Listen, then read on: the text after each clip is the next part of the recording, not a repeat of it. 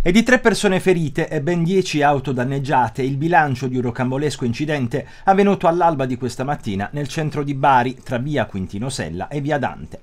Intorno alle 5 un autobus dell'AMTAB, l'azienda che gestisce il servizio di trasporto pubblico locale, si è scontrato con una vettura a bordo della quale c'erano tre persone, per poi travolgere altre nove auto che erano parcheggiate sul ciglio della strada, oltre a bidoni della raccolta rifiuti e cartelli stradali.